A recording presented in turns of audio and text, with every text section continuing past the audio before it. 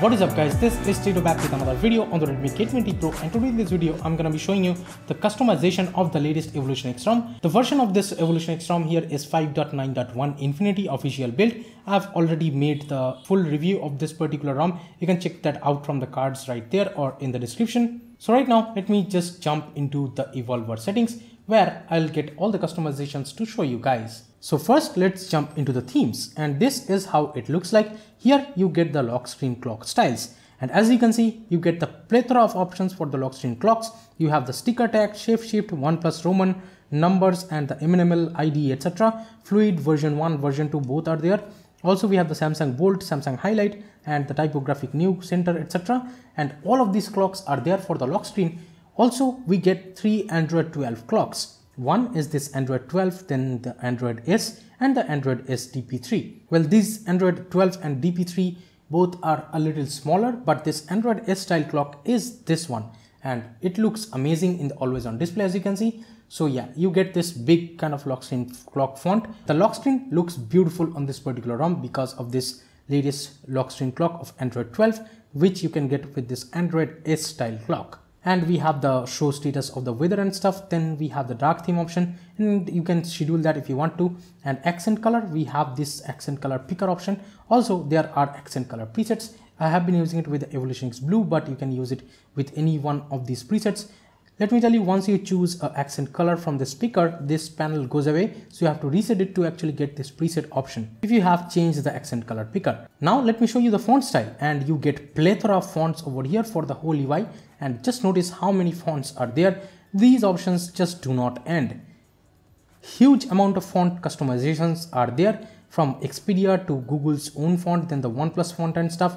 Huge options again are there for the whole UI fonts. Then we have the icon shapes and you get again plethora of icon shapes. Then we have the icon packs. You can choose from these many options. Then we have the settings dashboard icon style. Then the switch style you can also change. This is for the toggle styles as you can see. I have been using it with the Android 12. That's why it looks like this but you can choose from these many options as you can see there is also the OxygenOS retro material design 2 etc the volume panels you can also change and i have been using it with the MIUI option so it looks like this and of course the volume panel is very customizable over here so you can go with any option from here. And show app volume is also there. Let me scroll down. We have the custom header options in the brightness slider style. I have been using it with the android 12 style but you can of course go with RUI or the aosp or the oxygenOS style or the default one if you want to. Then we have the quick setting tile disco and we have the quick setting tile styles and you can also change these styles if you want to. Then also the tint you can actually customize Right now I have been using it with the Android 12 tint.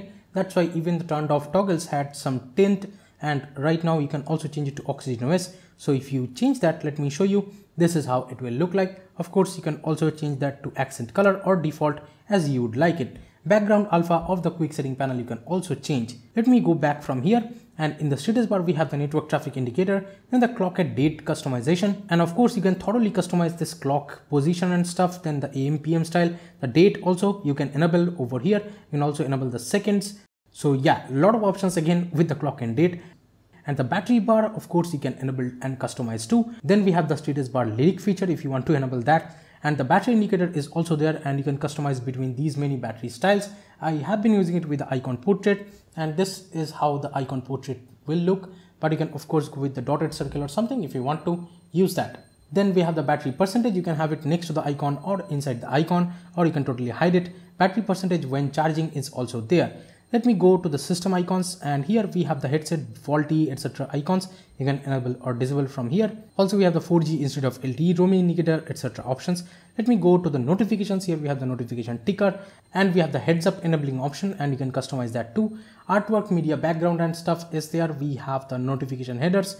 Let me scroll down. We have the notification light and from here we also have the battery charging light in do not disturb mode as well and the edge lighting is working perfectly fine and I have these things enabled. You can follow these.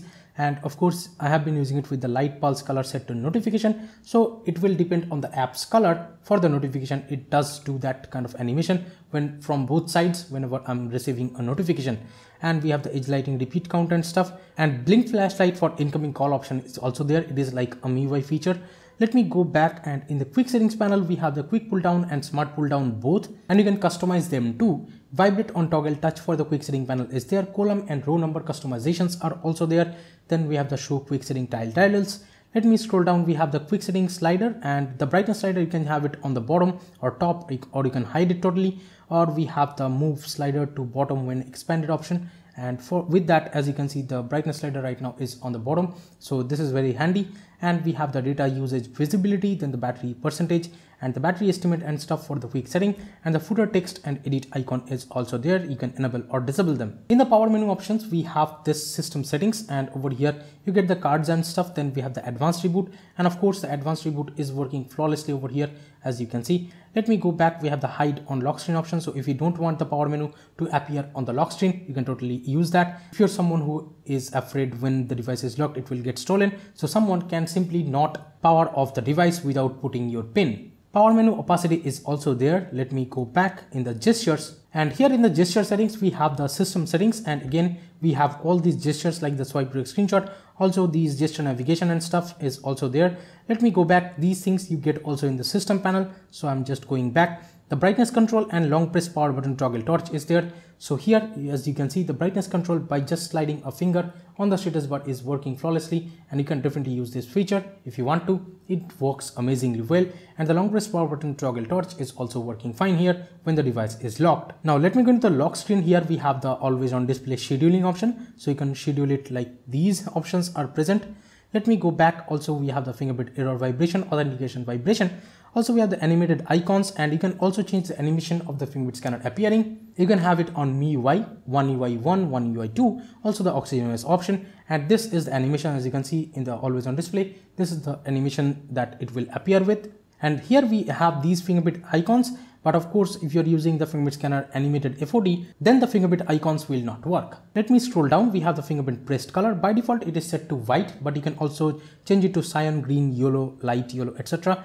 And the FOD on those option is there. Recognizing animation you can also enable it and you get all of this fingerprint scanner animation including the cyberpunk 2077 i have been using it with the mclaren one but you can also go with any kind of fingerprint scanner animation. All of these options work super fine with the fingerprint scanner animation whenever you're unlocking. And the lock screen background blur is there status bar and lock icon you can enable or disable. The charging animation is also there.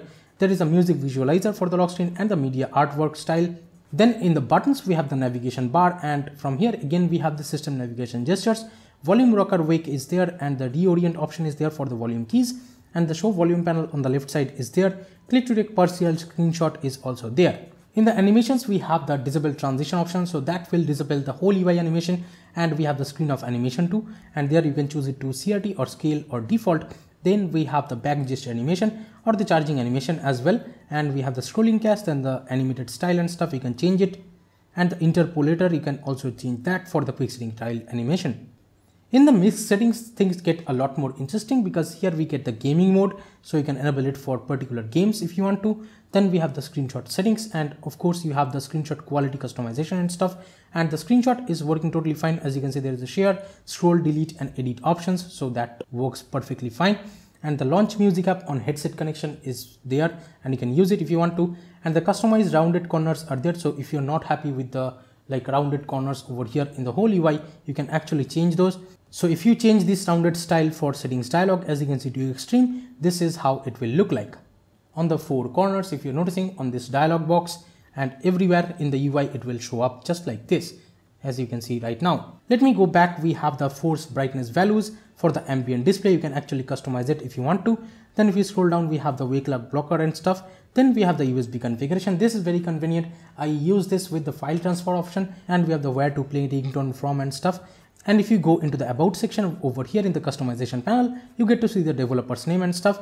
And of course you can donate to the developers over here. So those are all the customizations of the Evolution X-ROM. Let me know in the comments what do you guys think. And if you haven't watched the full review of the Evolution X-ROM 5.9.1 latest build, you can check it out from the description again.